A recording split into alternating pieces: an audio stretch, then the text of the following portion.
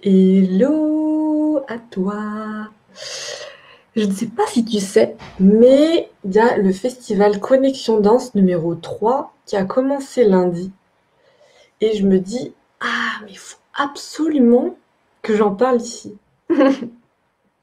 Parce que si tu n'es pas au courant, tu rates quelque chose.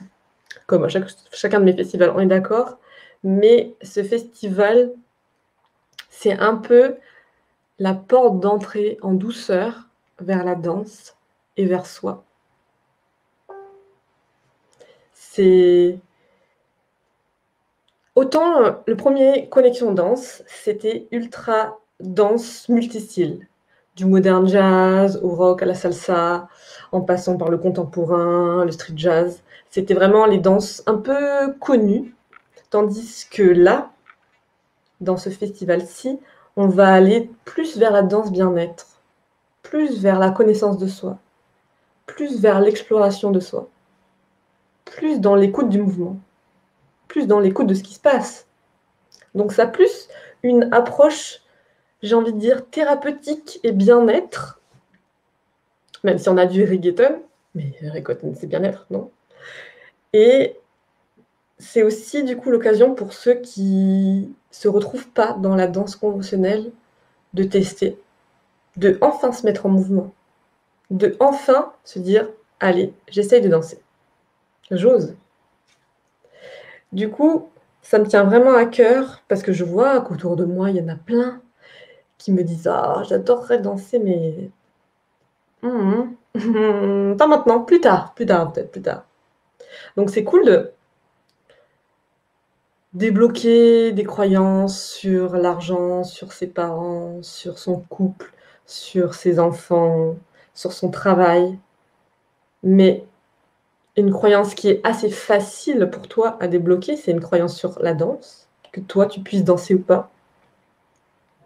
Et peut-être que ça peut faire des effets euh, boule de neige et que tu serais surpris par le résultat. Donc, le festival Connexion Danse numéro 3, c'est des live type table ronde. Donc, ça, c'était hier avant-hier. C'est fini, mais tu peux regarder le replay dans le groupe Connexion Danse. C'est des démos toute la semaine. Pendant 15-20 minutes, chaque intervenant va expliquer en live, en mode solo, c'est quoi son style de danse, ça apporte quoi, ça permet quoi. Pour vraiment te donner un petit coup d'œil, tu vois. Samedi, du coup, on a, je vais te montrer, des initiations gratuites. Donc, tu vas pouvoir tester le burlesque, le hip-hop hype, la danse thérapie, la danse détente, danse tes émotions que je présente, le reggaeton, la danse sensitive, danse voyage d'essence. Donc, je sais pas toi, mais rien que les noms des styles de danse, ça donne envie. Donc, ça, c'est gratuit sur inscription. Il faut aller sur le site. Je te le mettrai en lien. Ensuite, Samedi 16h, on a une rencontre dansante. Donc là, c'est vraiment en mode soirée. En mode soirée, on va aller se rencontrer, on va aller échanger, on va aller se déplacer virtuellement dans l'espace. On va aller prendre des cocktails qu'on va boire virtuellement. on va jouer, on va danser ensemble. Et là, c'est vraiment décontracté. C'est un peu comme si, après trop longtemps, tu te dis ah, j'aimerais bien aller en soirée, j'aimerais bien prendre du temps pour moi, rencontrer des gens et, chiller, rigoler. Et ben là, c'est le moment en fait, tu vois. Et dernier temps fort de ce festival, c'est les ateliers. Donc le dimanche, il y aura quatre ateliers. Donc tu as vu qu'il y avait huit styles.